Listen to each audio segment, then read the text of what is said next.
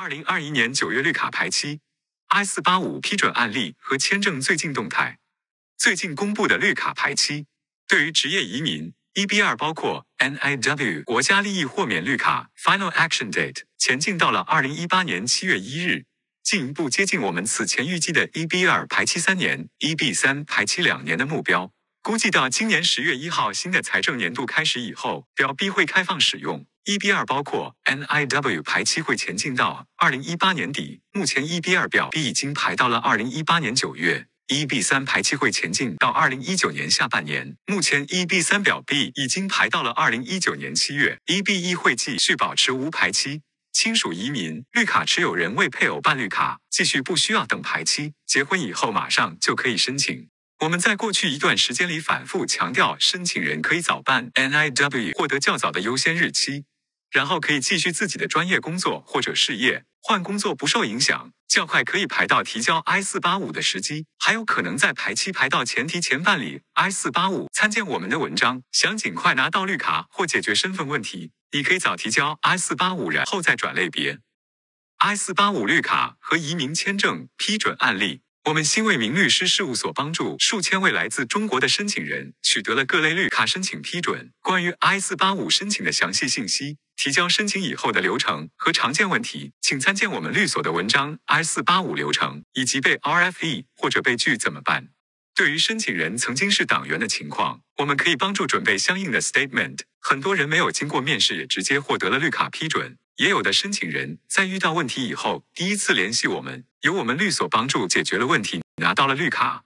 最近几个月里提交 I 四八五并取得绿卡的众多客户里面，曾经是党员的绿卡申请人，在提供了 statement 做出解释和说明以后，绝大多数没有经过 RFE 或面试，直接获得了绿卡批准。下面是最近的一些批准案例。绿卡批准案例一：申请人曾经是党员，并且曾经在军队单位工作。一九八九年入党，到美国不满五年，住在加州。作为主申请人的配偶，在二零二零年十月十九号提交了 I 四八五申请。二零二零年十二月中旬收到打指纹通知。二零二一年一月初打了指纹。二零二一年四月十四号绿卡获批，没有 RFE，没有面试。绿卡批准案例二：申请人曾经是党员，二零一一年入党。二零一二年出国，作为 EBEA 批准的主申请人，在二零二零年十月二十号提交了 I 四八五申请。二零二一年一月打指纹，二月收到 Combo 卡批准，四月收到要求补交体检报告的通知。二零二一年五月十四号绿卡获批，没有关于党员身份的 RFE，没有面试。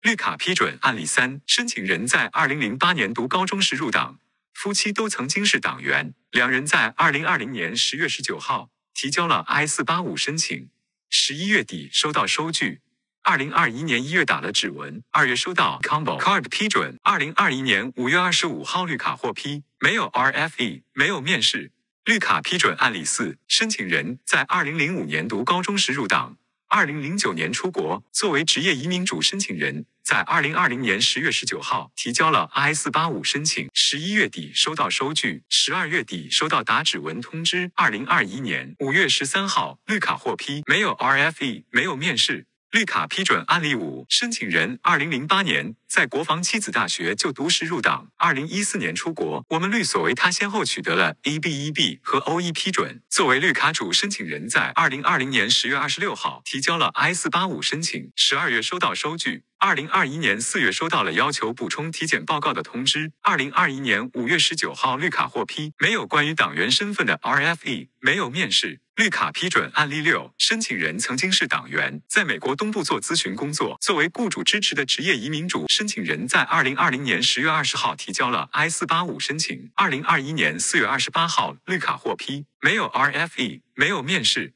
绿卡批准案例七：申请人二零一二年在上海读大学时入党，二零一五年到美国。住在美国南部某州，作为职业移民主申请人的配偶，在二零二零年十月二十六号提交了 I 四八五申请，二零二一年二月收到打指纹通知，三月打指纹，二零二一年六月八号绿卡获批，没有 RFE，没有面试。绿卡批准案例九：申请人曾经是党员，二零一四年到美国，作为主申请人，在二零二零年十月二十号提交了 s 四八五申请，二零二零年底收到的指纹通知，二零二一年一月打了指纹，二零二一年六月二十五号绿卡获批。没有收到关于党员身份的 RFB。二零二一年三月收到过要求补交体检报告的通知，没有面试。绿卡批准案例十一：申请人曾经是党员，作为职业移民主申请人的配偶在二零二零年十月五号提交了 I 四八五申请，二零二一年三月初收到打指纹通知，三月二十四号打了指纹，二零二一年六月二十九号绿卡获批，没有关于党员身份的 RFE。在二零二一年四月收到过要求补交体检报告的通知，没有面试。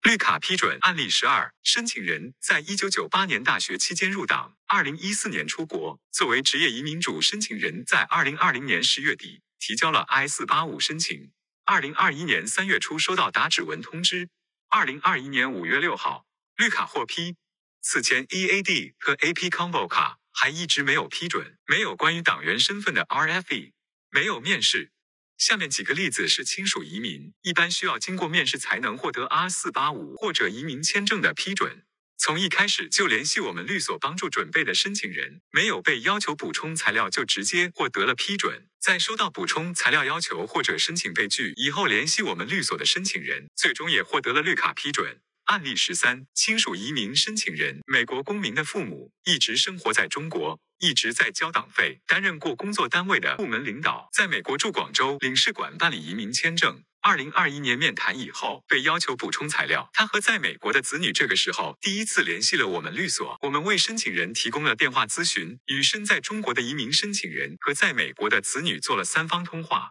然后根据申请人的情况帮助他准备了关于过去经历的书面说明。提交到广领馆以后，申请人顺利获得了移民签证批准，入境美国后。就可以拿到绿卡。绿卡批准案例十四：亲属移民申请人，美国公民的父母，此前在中国军队院校做教员，到美国几个月后，经过我们律所帮助，提交了 I 四八五申请，与子女为他办的 I 幺三零申请一同提交。经过在美国东北部移民局办公室的 I 四八五面试以后，在二零二零年底顺利取得绿卡批准，没有 RFE，没有被要求办 R 六零幺豁免。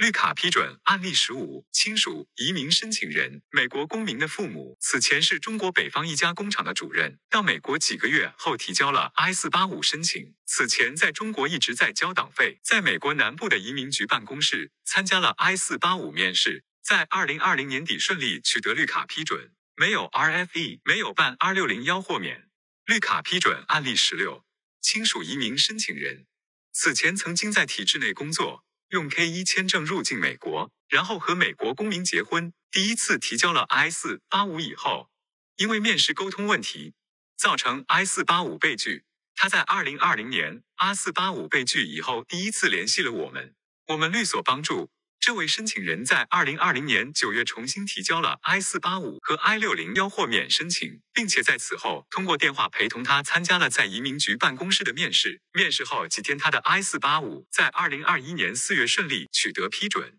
根据美国国务院公布的签证发放统计数字，今年五月和六月两个月里，美国政府在驻华使领馆一共签发了。五万多份 F 一学生签证。前一段时间，国防七子院校几百学生被拒签一事得到广泛报道。同时，今年已经有几万中国留学生新拿到美国 F 一学生签证。从这些数据，我们可以看到，美国移民和签证的机会仍然有很多。